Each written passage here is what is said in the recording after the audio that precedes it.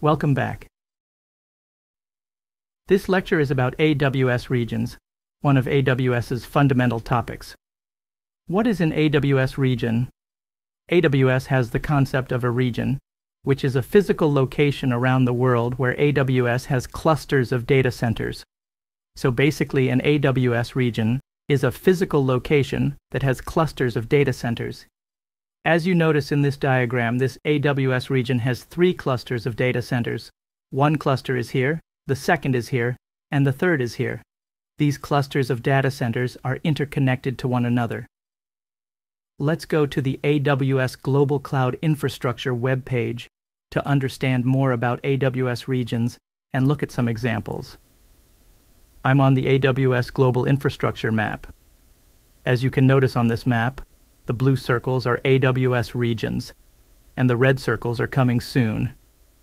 AWS maintains regions in multiple geographic locations North America, South America, South Africa, Europe, the Middle East, and the Asia Pacific.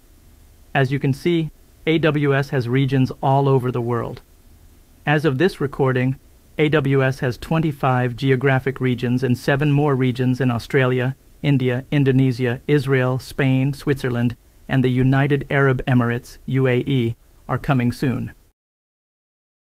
Each AWS region is in a separate geographical region. For example, there are six regions in the US as of this recording. Two regions are on the East Coast, and two are on the West Coast. There are two government cloud regions, one is on the west coast, and the other is on the east coast. Each AWS region is completely independent, having its own internal private secured network, and is isolated from the other AWS regions. However, availability zones in an AWS region are interconnected with one another with high bandwidth and low latency networks. Let's go through some AWS regions to see some other examples. In South America, AWS has a region in Sao Paulo, Brazil, Let's go to Australia. AWS has a region in Sydney. In South Africa, AWS has a region in Cape Town. Let's go to Europe. AWS has a region in London. It has a region in Frankfurt, Germany. It has a region in Paris, France, Milan, Italy, and Ireland.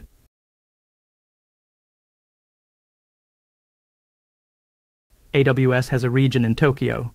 In India, AWS has a region in Mumbai and a region in Hyderabad is coming soon. Let's discuss the AWS region further. Every AWS region is assigned a name and a code. For example, the Northern Virginia AWS region has a region code of US East 1, and the Ohio AWS region has a region code of US East 2. Now let me log into my AWS account to look at some concrete examples of AWS regions. This is my AWS account. My default AWS region is US East Northern Virginia, with region code US East 1. US East has another region in Ohio, which has region code US East 2. Your account determines the regions that are available to you. AWS will default assign you a region to your account, but you can change it. The question is, why would you need to change it? Well, AWS assigns a default region to your account. That way, it provides services to you from its nearest data centers. But sometimes, Say if you are looking for a new service and if the service is not available in your default region. In that case, you can switch to the region with the service you are looking for. For example, I can switch over to the US East Ohio region if the service I'm looking for is in the Ohio region. Or I can switch to, for example, London if the service I'm looking for is not available in my default region, but is available in the London AWS region. Here are some other important points about AWS regions.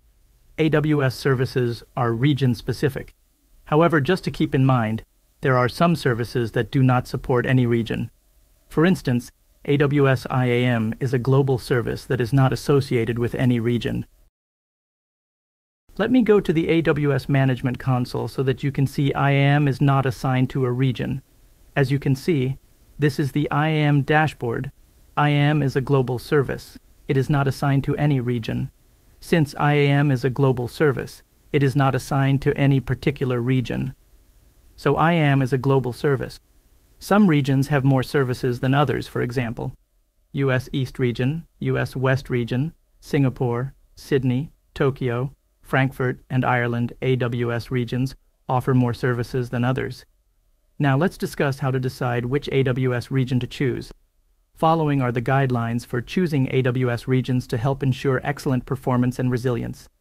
Location to get network latency. Find out what your most needed services are.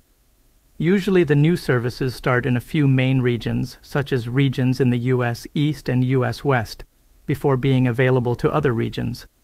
Some regions will cost more than others, so use a built-in AWS calculator to do rough cost estimates to get an idea about your choices. SLAs usually vary by region, so be sure to know your needs and if they're being met. You may need to meet regulatory compliance such as GDPR by hosting your deployment in a specific region or region to be compliant.